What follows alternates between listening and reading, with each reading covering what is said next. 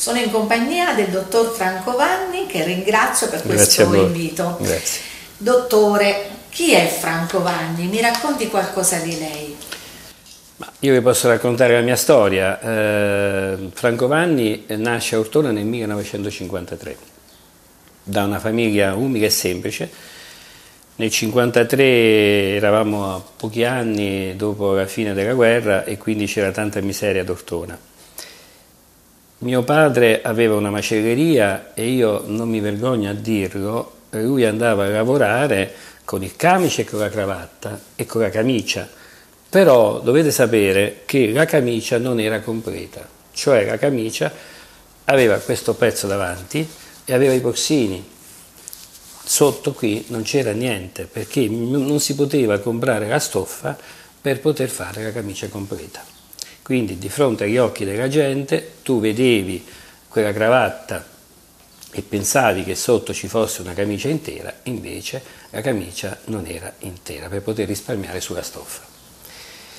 Io nasco da queste origini, nasco eh, capendo cosa vuol dire la vita fare i sacrifici e anch'io faccio i miei sacrifici perché andavo ad aiutare mio padre eh, appena potevo, quindi studiavo e andavo ad aiutare mio padre al negozio, andavo ad aiutarlo a vendere la carne, andavo ad aiutarlo anche a distribuire la carne, a portare la carne eh, ne, nelle case delle, delle, persone, diciamo così, dei signori un po' più di Ortona che telefonavano, che ordinavano Anna Maria ed io facevo tipo il garzone di bottega perché andavo a casa e portavo, carne, portavo questa carne a loro. Vedi Anna Maria, questo è molto importante nella mia storia, perché quando io andavo a portare la spesa a queste persone, loro non mi facevano entrare nemmeno dentro casa, mi fermavano all'uscio, io consegnavo il pacco e loro mi davano i soldi.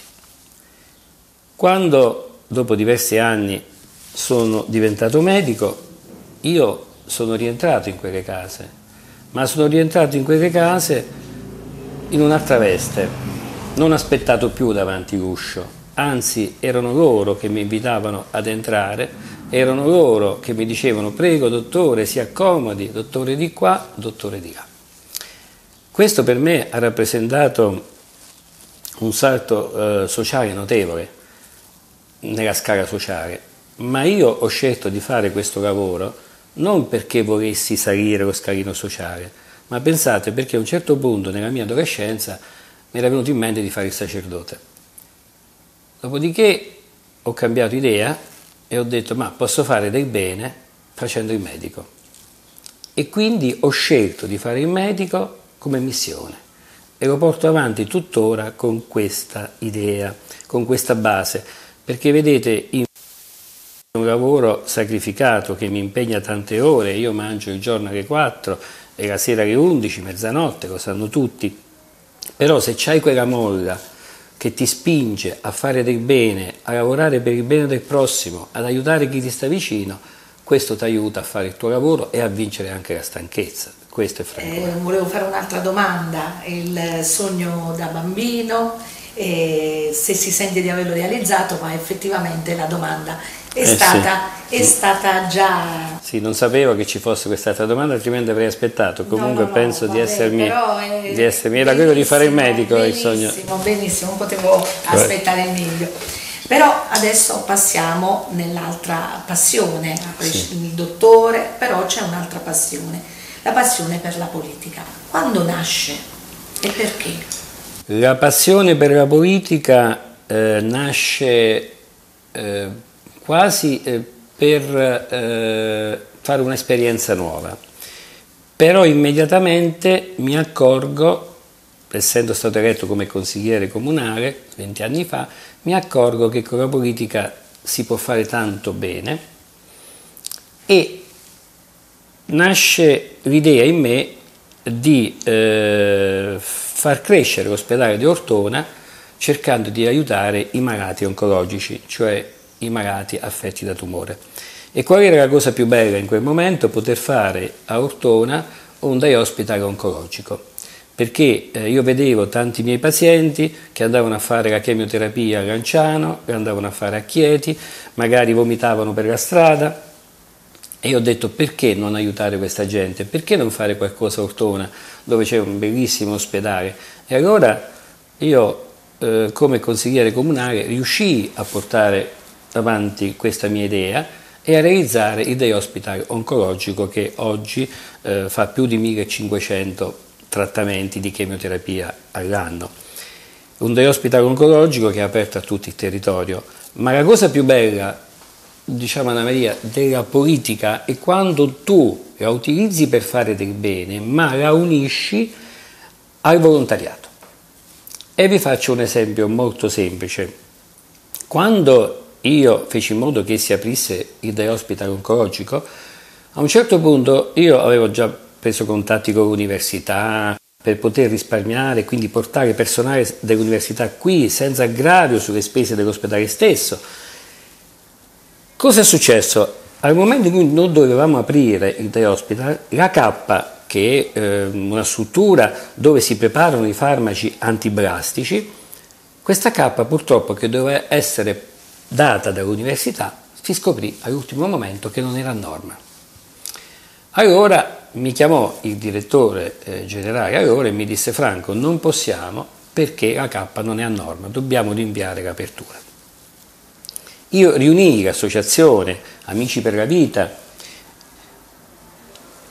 e dissi all'associazione quanti soldi abbiamo in cassa? Avevamo 50 milioni. Allora dissi dobbiamo spenderne 48 perché la K costa 48, quindi comprai con l'associazione Amici per la Vita la K per l'ospedale di Ortona e la regalai all'ospedale. Partì l'oncologia. Quindi l'oncologia non è solo il risultato della politica, era il risultato della politica unita al volontariato. Questa è la cosa bella della politica. È una bella cosa così. Eh sì, Vista la politica è bella, però eh, c'è una persona eh, che deve ringraziare e che l'ha supportata durante tutto il suo percorso politico. Sì, io la persona che mi sento di ringraziare è il senatore eh, Rocco Salini, pace all'anima sua, che non c'è più e che, eh, ti dico la verità, l'amicizia con Rocco Salini nasce proprio per l'oncologia. Rocco Salini in quel periodo era senatore ed era responsabile della sanità per eh, tutto eh, diciamo, l'Abruzzo. Per cui io non lo conoscevo, mi feci prendere un appuntamento da un amico e andai a Castiventi, a casa sua. Rocco mi ricevette ci presentammo e chiaramente mi disse che cosa sei venuto a fare da me? E io gli dissi, senatore, sono venuto a chiedere una cosa per Ortona. Sono venuto a chiedere di poter aprire ad Ortona il day hospital oncologico. E lui mi disse, caro Vanni, è la prima persona che viene da me a chiedere una cosa non per sé ma per il proprio paese. Io ti aiuterò in questo. Chiamò il sindaco Fratino al telefono e gli disse da me c'è Vanni, vuole fare questo per Ortona, io glielo farò fare. Era il mese di settembre, a novembre arrivavano i muratori ad Ortona per iniziare l'oncologia. Questo gli ortonesi lo devono sapere. Perché... Lo devono sapere perché è un ricordo di Rocco che poi diciamo, mi ha seguito, eh, mi ha voluto vicino a lui in tante vicissitudini politiche, eh, a casa sua, una persona eccezionale veramente, una persona dal cuore buono, una persona che io rimpiango tutti i giorni perché mi ha dato tanti insegnamenti, non solo politici ma anche umani. Adesso arriviamo al 12 giugno 2022 ci saranno le elezioni per sì. il nuovo sindaco. E cosa possiamo dire eh, in sintesi il programma che porta il vostro sindaco Di Nardo, Angelo? Sì, guardi, eh, vorrei fare un preambolo, nel senso che eh, sto seguendo questa campagna elettorale e mi dispiace che molte volte vedo tanta cattiveria. In eh, realtà io farei una campagna elettorale diciamo un po' più soft, anche se io sul palco molte volte mi avete visto, mi infervoro, ma mi infervoro perché mi lascio trascinare dalla verità, non perché è mia indole essere così. La verità è la cosa più bella che ci sia, la sincerità. E, e Anna Maria, noi stiamo vivendo un momento particolare in questa eh, campagna elettorale, che è quella di mettere a nudo la verità. Abbiamo attualmente tre grossi schieramenti politici eh, e c'è un quarto candidato sindaco con una unica lista che io per carità rispetto. I tre grossi schieramenti sono eh, Castiglione come candidato sindaco, eh, Ilario Cocciola come altro candidato sindaco che rappresenta l'area diciamo così ehm, progressista moderata e il centrodestra che è rappresentato da Angelo Di Nardo. Castiglione si è visto che cosa ha fatto in questi anni, Cocciola rappresenta quella parte diciamo di centrosinistra che ha amministrato prima di Castiglione e che è stata commissariata. Quindi noi vediamo in Angelo Di Nardo una novità, una novità non solo perché è giovane e perché ha delle capacità eccezionali, ma vediamo una novità perché rappresenta proprio un distacco rispetto agli ultimi dieci anni, perché in dieci anni questa ortona non è cresciuta e quindi noi vogliamo questo cambiamento con una persona giovane che, come dicevo prima, viene da situazioni da origini umili come le mie, perché Angelo Di Nardo è vero che è un imprenditore, è vero che dà da mangiare, fa preparare la tavola a 400 famiglie perché ha 400 dipendenti, però Angelo Di Nardo, per chi lo conosce come me, eh, va anche in campagna a lavorare. Angelo Di Nardo viene da anche lui da una famiglia semplice. Angelo Di Nardo sa che cosa vuol dire lavoro, sa che cosa vuol dire sacrificio, ecco che cosa ci accomuna a me con Angelo.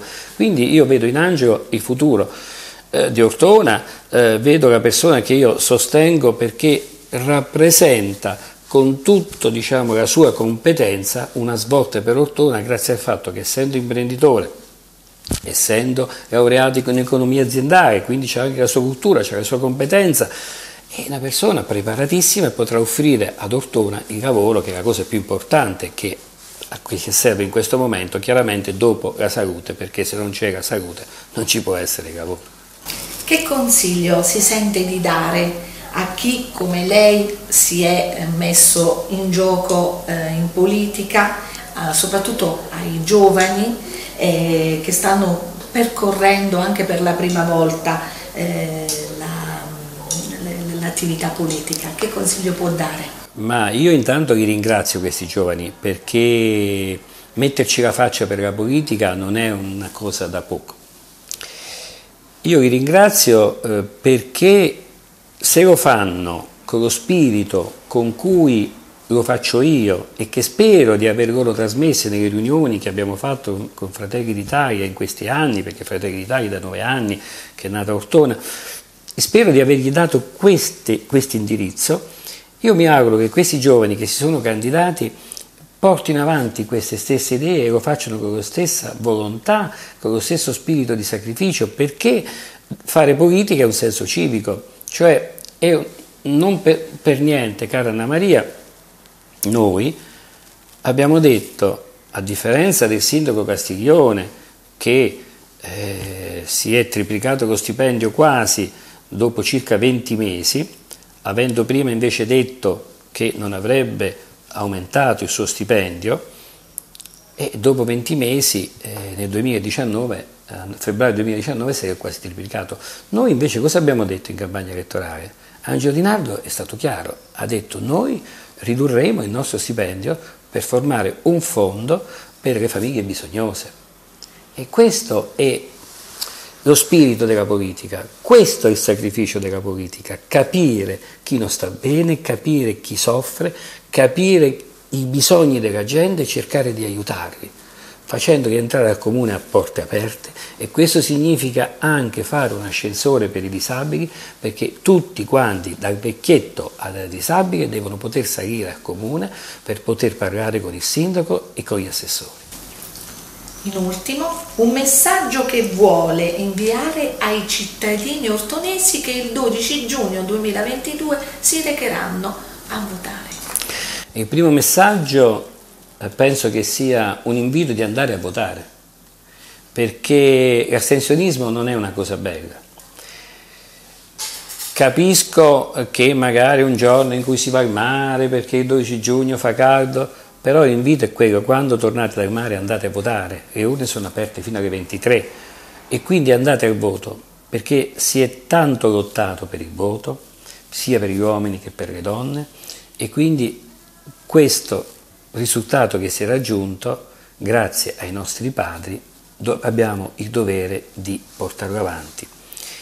Votare significa scegliere il candidato giusto, il candidato che vi ispira di più, il consigliere comunale che vi è più vicino, significa credere in quella persona che voi andate a votare, mettere una croce su un simbolo e Anna Maria scrivere un nome deve uscire dal cuore e poi dalla mente.